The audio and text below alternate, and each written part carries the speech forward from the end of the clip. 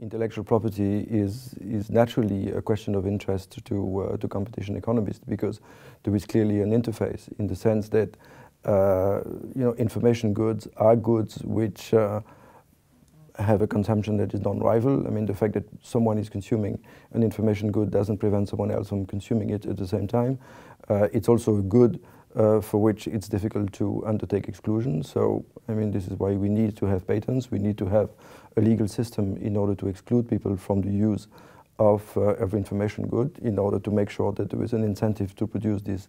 uh, information good in the first place. But the consequence is, of course, that there is exclusion. And um, exclusion is something which is naturally of interest to, uh, to competition economies to worry about the, the consequence of uh, foreclosure.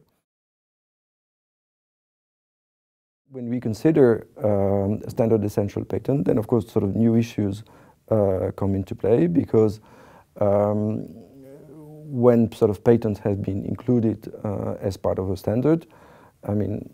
the concern that one might have about uh, the, the, consequences of exclusion, of course, are different because it may very well be that when standards are, are essentials, uh, that sorry, then patents are declared to be essential for a standard, uh, that I mean the implementers, the users have no alternative anymore. So they really have to use the uh, the patents that are, are considered to be essential, and so the prospect for holdup, the prospect for the exercise of market power may be may be greater. Now at the same time, uh, as a quid pro quo for being included uh, as part of the standard, the, uh, the holders of the uh, intellectual property, the patent holders, have typically committed to licensing in the particular conditions. I mean, they are usually referred to as, uh, as fair and non-discriminatory, the so-called uh, terms. And so, I mean, there is a specific question that arises with respect to standard essential patent, I mean, for which there is a FRAND commitment of whether indeed uh, the, the pursuit of injunction, which is the, the subject of our research, whether the pursuit of injunction is a, is a concern as such in terms of an abuse of dominant position. The research that we undertake uh, tries to uh, understand how injunctions will affect the uh, negotiation on standard essential patent. And um, so uh, we start from the uh, observation that indeed holdup can be a concern and that when uh, patents are standard essential, the, the scope for holdup may be significant. We also recognize the fact that um, the, uh, the FRAND term may impose a significant constraint on the, on the behavior of the patent holder. And we also recognize the fact that in the absence of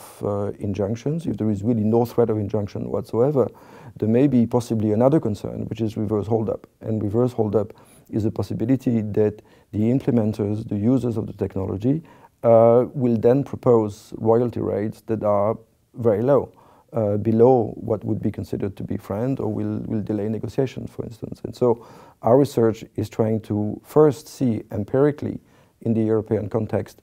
uh, what happens with respect to the negotiation on uh, royalties with respect to standard essential patent, and in particular, what happens if the patent holders do seek an injunction in, uh, in court. And second, uh, our research is trying to model what the European court system uh, tend to do to see, to try to identify whether there is indeed a concern in terms of uh, rates that may be uh, above the FRAND rate in equilibrium, that is to say, whether there is a concern for hold-up, or the opposite, whether there is a concern for reverse holdup, that is to say situations in which the royalty rates are below the FRAND level.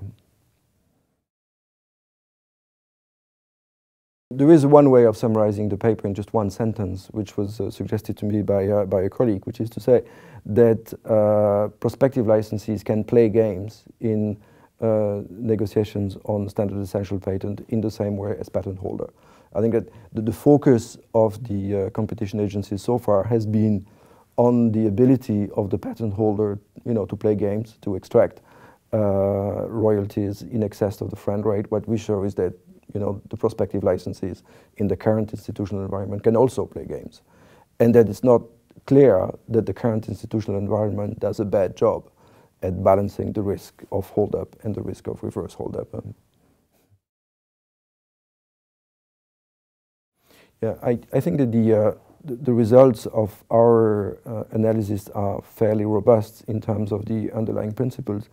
Um, of course, the policy conclusions that, that we draw um, may be confined to the European environment to the extent that we have only analyzed the, the procedures in the uh, European context. Uh, and uh, we found that the European court system um, I mean, seems to operate in a way that balances the interest of the uh, prospective licensee and the, uh, and the patent holder, but I wouldn't want to put forward any judgment on what happens outside the European jurisdictions.